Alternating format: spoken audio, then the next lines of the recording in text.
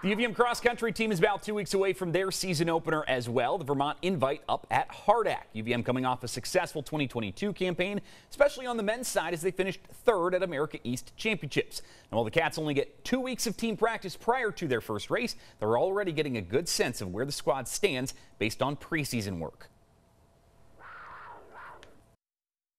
Everybody is just excited to see each other, but we've also all known that like we spent all summer putting in the mileage and uh, it kind of pays off at the end. I'm very excited. I think everyone's had a really good summer, um, working hard. I'm really proud of how everyone's showing up and doing the work. You know, the next couple days are really exciting when we have people, you know, filing back in and we find out, you know, really who's done a really good job and who's maybe a little behind. And, and that really sets the tone for our season is the energy they come in with and their preparedness.